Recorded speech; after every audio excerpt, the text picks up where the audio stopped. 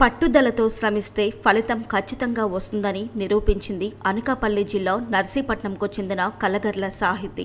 నర్సీపట్నంకు చెందిన కలగర్ల సర్వేశ్వరరావు నాగజ్యోతికి కుమార్తె జన్మించింది. పురుషులతో సమానంగా తన కుమార్తె ఉండే విధంగా చిన్నతనం నుండి పెంచడం జరుగుతుంది. తల్లిదండ్రుల ప్రోత్సాహంతో సాహితీ యోగా ఆసనాలు స్విమ్మింగ్ కరాటే ఇలా మరెన్నో నేర్చుకోవడం జరిగింది.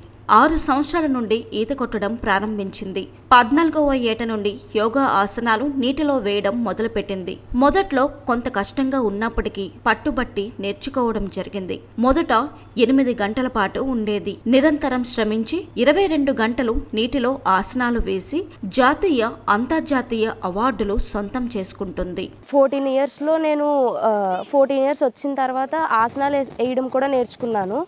అది ఇంట్లో అమ్మ అమ్మ వాళ్ళు పెద్ద యోగాలు యోగా చేసేవారు. ఆ యోగా నుంచి ఇన్స్పైర్ అయ్యి వాటర్లో ట్రై చేస్తే ట్రై చేద్దామని చెప్పి వాటర్లో ట్రై చేసేదాన్ని. నీటిలో పద్మాసనం శవాసనం వృక్షాసనం సూర్య నమస్కారం దీపాలు పట్టుకొని జెండాలు పట్టుకొని ఇలా ఇరవై రెండు ఆసనాలు ఇరవై రెండు గంటల పాటు చేయగలను అని సాహితీ చెప్తున్నారు. అట్లా ట్వే ఫస్ట్ ఎయిట్ అవర్స్ ఉన్నాను. అలా ట్వంటీ టూ అవర్స్ వరకు వాటర్లో ఫ్లోట్ అవుతూ పద్మాసనం శవాసనం వృక్షాసనం ఇలా అన్ని ఆసనాల్లో ఉండగలను.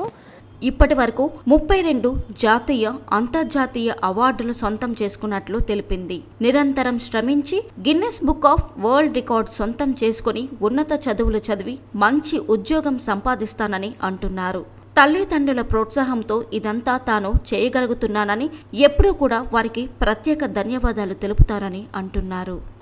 అలానే టూ థౌజండ్ నైన్టీన్లో రేవు పోలవరం బీచ్లో ఒక ఇన్సిడెంట్ జరిగింది. పిక్నిక్ అని వెళ్ళినప్పుడు ఇద్దరు పిల్లలు మునిగిపోతుంటే వాళ్ళిద్దరిని కాపాడి తీసుకొచ్చాను. దానికి నాకు ఉత్తమ్ జీవన్ రక్ష పథక్ వచ్చింది. థర్టీ టూ వరల్డ్ రికార్డ్స్ వచ్చాయి. Wonder book of world records Indian book of world records ఇలాగా Vajra book of world records ఇలా చాలా బుక్ ఆఫ్ వరల్డ్ రికార్డ్స్ వచ్చాయి.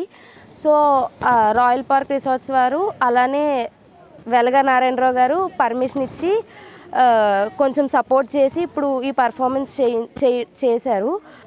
నా ఫ్యూచర్లో ఇంకా ఇలా ఇలానే కంటిన్యూ చేసి గిన్నీస్ బుక్ ఆఫ్ వరల్డ్ రికార్డ్స్లో పేరు సాధించాలని నా కోరిక. అలానే ఎంఎస్ చేసి హయ్యర్ స్టడీస్ చేద్దాం అనుకుంటున్నాను. ఇదంతా సపోర్ట్ చేసి వెనక మొత్తం సపోర్ట్ చేసిందంతా అమ్మ నాన్న. వాళ్ళిద్దరు సపోర్ట్ లేకుండా ఫ్రీడమ్ లేకుండా ఇదంతా చేయ చేసే పొజిషన్లో లే ఉండేదాన్ని కాదేమో. ఫస్ట్ వాళ్ళిద్దరికీ థ్యాంక్స్ చెప్తున్నాను. ఇంత స్థాయికి తీసుకొచ్చినందుకు.